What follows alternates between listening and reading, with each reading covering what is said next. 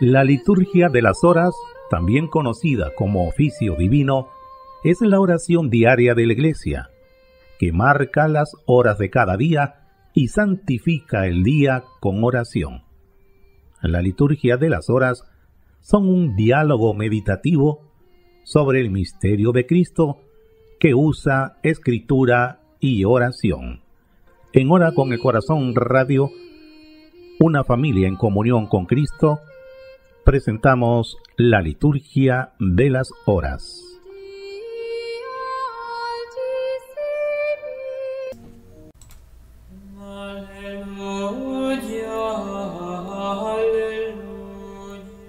...18 de abril del 2022... ...solemnidad de lunes de la octava de Pascua... Oficio de lectura. Señor, abre mis labios. Y mi boca proclamará tu alabanza. Verdaderamente ha resucitado el Señor. Aleluya. Antífona del Salmo 94. Venid, aclamemos al Señor. Demos vítores a la roca que nos salva. Entremos a su presencia dándole gracias aclamándolo con cantos. Verdaderamente ha resucitado el Señor. Aleluya. Porque el Señor es un Dios grande, soberano de todos los dioses. Tiene en su mano las cimas de la tierra. Son suyas las cumbres de los montes. Suyo es el mar, porque Él lo hizo la tierra firme que modelaron sus manos. Verdaderamente ha resucitado el Señor. Aleluya. Entrad, postrémonos por tierra, bendiciendo al Señor, Creador nuestro, porque Él es nuestro Dios y nosotros su pueblo, el rebaño que Él guía. Verdaderamente ha resucitado el Señor. Aleluya. Ojalá escuchéis hoy su voz. No endurezcáis el corazón como en Meribá, como el día de Masá en el desierto, cuando vuestros padres me pusieron a prueba y me tentaron, aunque habían visto mis obras. Verdaderamente ha resucitado el Señor. Aleluya. Durante cuarenta años aquella generación me asqueó y dije, es un pueblo de corazón extraviado, que no reconoce mi camino. Por eso he jurado en mi cólera que no entrarán en mi descanso. Verdaderamente ha resucitado el Señor. Aleluya. Gloria al Padre y al Hijo y al Espíritu Santo. Como era en el principio, ahora y siempre, por los siglos de los siglos. Amén. Verdaderamente ha resucitado el Señor. Aleluya.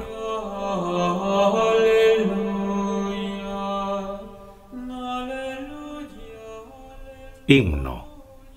Cristo ha resucitado. Resucitemos con Él. Aleluya, aleluya. Muerte y vida lucharon, y la muerte fue vencida. Aleluya, aleluya. Es el grano que muere para el triunfo de la espiga. Aleluya, aleluya. Cristo es nuestra esperanza, nuestra paz y nuestra vida. Aleluya, aleluya. Vivamos vida nueva. El bautismo es nuestra Pascua. Aleluya, aleluya.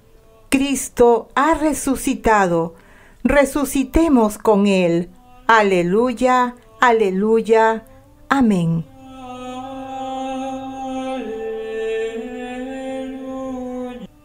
Soy el que soy y no sigo el consejo de los impíos, sino que mi gozo es la ley del Señor. Aleluya. Antífona del Salmo primero los dos caminos del hombre. Dichoso el hombre que no sigue el consejo de los impíos, ni entra por la senda de los pecadores, ni se sienta en la reunión de los cínicos, sino que su gozo es la ley del Señor, y medita su ley día y noche. Será como un árbol plantado al borde de la acequia. Da fruto en su sazón, y no se marchitan sus hojas, y cuanto emprende tiene buen fin. No así los impíos, no así. Serán paja que arrebata el viento.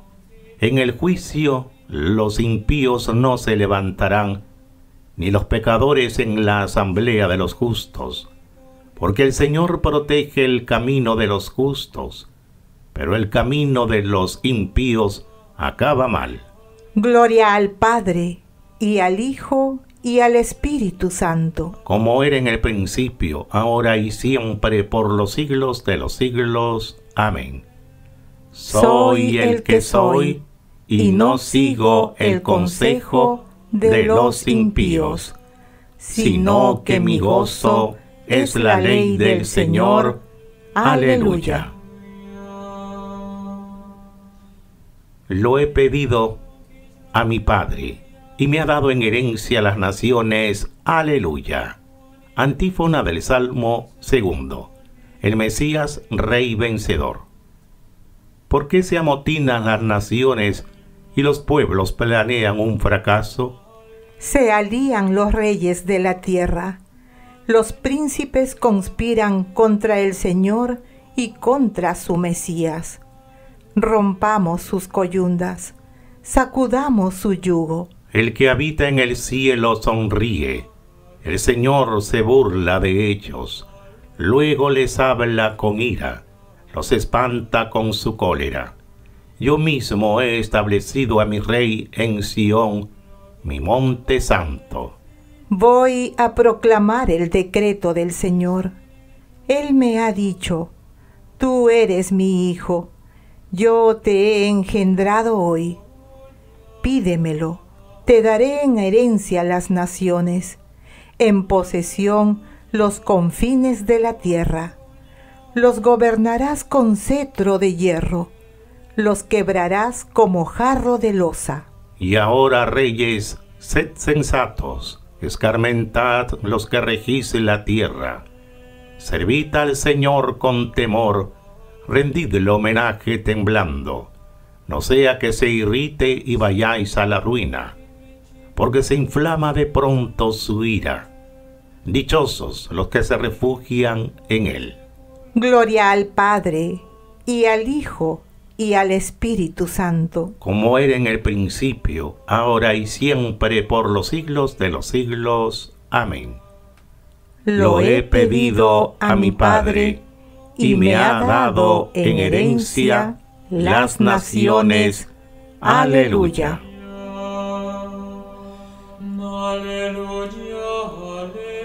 Puedo dormir y despertar. El Señor me sostiene. Aleluya. Antífona del Salmo tercero. Confianza en medio de la angustia. Señor, cuántos son mis enemigos, cuántos se levantan contra mí, cuántos dicen de mí, ya no lo protege Dios. Pero tú, Señor, eres mi escudo y mi gloria tú mantienes alta mi cabeza. Si grito invocando al Señor, Él me escucha desde su monte santo. Puedo acostarme y dormir y despertar. El Señor me sostiene. No temeré al pueblo innumerable que acampa a mi alrededor. Levántate, Señor. Sálvame, Dios mío. Tú golpeaste a mis enemigos en la mejilla rompiste los dientes de los malvados. De ti, Señor, viene la salvación y la bendición sobre tu pueblo. Gloria al Padre, y al Hijo, y al Espíritu Santo. Como era en el principio, ahora y siempre, por los siglos de los siglos. Amén. Puedo dormir y despertar. El Señor me sostiene. Aleluya. Los discípulos se llenaron de alegría. Aleluya. Al ver al Señor, aleluya. Primera lectura de la primera carta del apóstol San Pedro, capítulo primero, versículos del 1 al 21. Saludo y acción de gracias. Pedro, apóstol de Jesucristo, a los que habitan dispersos en el Ponto, Galacia, Capadocia, Asia y Bitinia. A los elegidos mediante la consagración con el Espíritu, conforme al proyecto de Dios Padre, para obedecer a Jesucristo y recibir la aspersión de su sangre. Crezca vuestra gracia y paz. Bendito sea Dios, Padre de nuestro Señor Jesucristo, que en su gran misericordia, por la resurrección de Jesucristo de entre los muertos, nos ha hecho nacer de nuevo para una esperanza viva, para una herencia incorruptible, pura, imperecedera, que os está reservada en el cielo. La fuerza de Dios os custodia en la fe para la salvación que aguarda a manifestarse en el momento final. Alegraos de ello, aunque de momento tengáis que sufrir un poco, en pruebas diversas. Así la comprobación de vuestra fe, de más precio que el oro, que aunque perecedero, lo aquilatan a fuego, llegará a ser alabanza y gloria y honor cuando se manifieste Jesucristo. ¿No habéis visto a Jesucristo y lo amáis? ¿No lo veis y creéis en Él? Y os alegráis con un gozo inefable y transfigurado, alcanzando así la meta de vuestra fe, vuestra propia salvación. La salvación fue el tema que investigaron y escrutaron los profetas, los que predecían la gracia destinada a vosotros. El Espíritu de Cristo que estaba en ellos les declaraba por anticipado los sufrimientos de Cristo y la gloria que seguiría. Ellos indagaron para cuándo y para qué circunstancia lo indicaba el Espíritu. Se les reveló que aquello de que trataban no era para su tiempo, sino para el vuestro. Y ahora se os anuncia por medio de predicadores que os han traído el Evangelio con la fuerza del Espíritu enviado del cielo. Son cosas que los ángeles ansían penetrar. Por eso, estad interiormente preparados para la acción, controlándoos bien, a la expectativa del don que os va a traer la revelación de Jesucristo. Como hijos obedientes, no os amoldéis más a los deseos que tenías antes, en los días de vuestra ignorancia. El que os llamó es santo, como Él, sé también vosotros santos en toda vuestra conducta. Porque dice la Escritura, seréis santos porque yo soy santo. Si llamáis Padre al que juzga a cada uno según sus obras, sin parcialidad, tomad en serio vuestro proceder en esta vida. Ya sabéis con qué os rescataron de ese proceder inútil recibido de vuestros padres. No con bienes efímeros, con oro o plata, sino a precio de la sangre de Cristo, el Cordero sin defecto ni mancha, previsto antes de la creación del mundo y manifestado al final de los tiempos por vuestro bien. Por Cristo vosotros creéis en Dios, que lo resucitó de entre los muertos y le dio gloria. Y así habéis puesto en Dios vuestra fe y vuestra esperanza.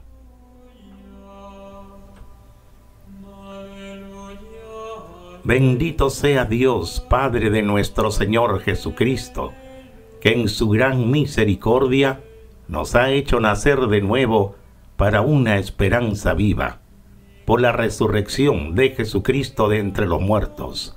Aleluya. Estad interiormente preparados para la acción, controlándoos bien a la expectativa del don que se os va a traer por la resurrección de Jesucristo de entre los muertos. Aleluya. Segunda lectura de Melitón de Sardes, obispo. Homilía sobre la Pascua. Alabanza de Cristo.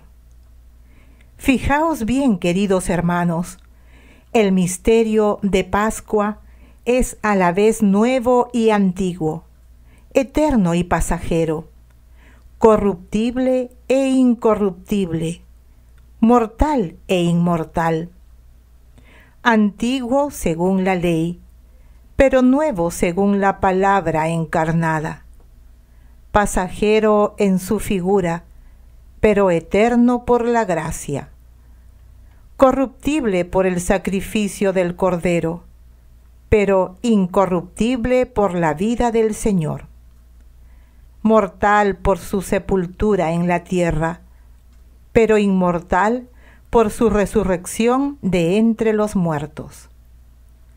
La ley es antigua, pero la palabra es nueva. La figura es pasajera, pero la gracia eterna. Corruptible el Cordero, pero incorruptible el Señor, quien inmolado como Cordero, resucitó como Dios. Porque Él fue como un Cordero llevado al matadero, y sin embargo no era un Cordero, y como una oveja enmudecía, y sin embargo no era una oveja. En efecto, ha pasado la figura y ha llegado la realidad. En lugar de un cordero tenemos a Dios. En lugar de una oveja tenemos un hombre. Y en el hombre, Cristo, que lo contiene todo el sacrificio del Cordero, el rito de la Pascua y la letra de la ley tenían por objetivo final a Cristo Jesús, por quien todo acontecía en la ley antigua y con aún mayor razón en la nueva economía.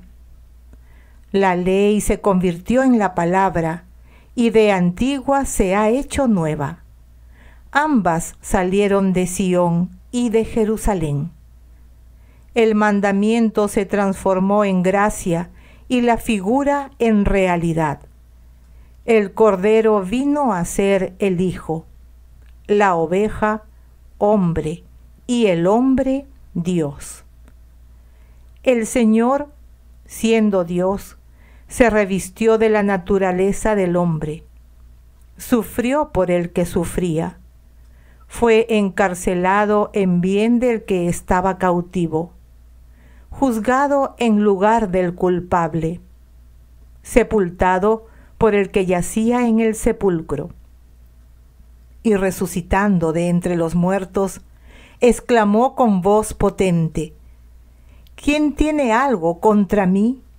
Que se me acerque.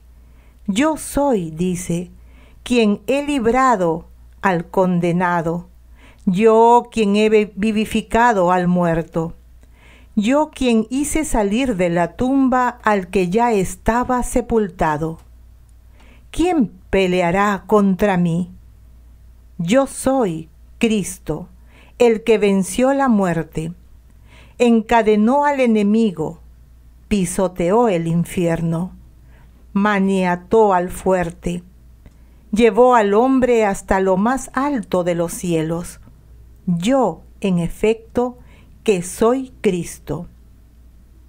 Venid, pues, vosotros todos, los hombres que os halláis enfangados en el mal, recibid el perdón de vuestros pecados, porque yo soy vuestro perdón, soy la Pascua de salvación, soy el Cordero degollado por vosotros, soy vuestra agua lustral, vuestra vida, vuestra resurrección, vuestra luz, vuestra salvación y vuestro Rey.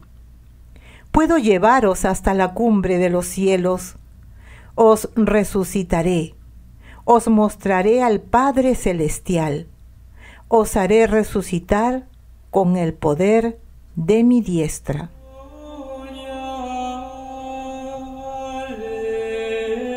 La promesa que Dios hizo a nuestros padres la ha cumplido, resucitando a Jesús. Dios lo ha nombrado juez de vivos y muertos. Aleluya. Al mismo Jesús, a quien vosotros crucificasteis, Dios lo ha constituido Señor y Mesías. Dios lo ha nombrado juez de vivos y muertos. Aleluya. Te Deum, acción de gracias. A ti, oh Dios, te alabamos. A ti, Señor, te reconocemos. A ti, Padre eterno, te venera toda la creación. Los ángeles todos, los cielos y todas las potestades te honran. Los querubines y serafines te cantan sin cesar. Santo, santo, santo es el Señor Dios del universo. Los cielos y la tierra están llenos de la majestad de tu gloria. A ti te ensalza el glorioso coro de los apóstoles la multitud admirable de los profetas, el blanco ejército de los mártires. A ti la Iglesia Santa, extendida por toda la tierra, te proclama. Padre de inmensa majestad, Hijo único y verdadero, digno de adoración, Espíritu Santo, defensor. Tú eres el Rey de la Gloria, Cristo, Tú eres el Hijo único del Padre. Tú para liberar al hombre aceptaste la condición humana sin desdeñar el seno de la Virgen. Tú rotas las cadenas de la muerte, abriste a los creyentes el reino del cielo. Tú te sientas a la derecha de Dios en la gloria del Padre. Creemos que un día has de venir como juez. Te rogamos, pues, que vengas en ayuda de tus siervos, a quienes redimiste con tu preciosa sangre. Haz que en la gloria eterna nos asociemos a tus santos. Oremos. Señor Dios, que por medio del bautismo haces crecer a tu iglesia, dándole siempre nuevos hijos, concede a cuantos han renacido en la fuente bautismal, vivir siempre de acuerdo con la fe que profesaron. Por nuestro Señor Jesucristo, tu Hijo, que vive y reina contigo en la unidad del Espíritu Santo, y es Dios por los siglos de los siglos. Amén. Bendigamos al Señor. Demos gracias a Dios.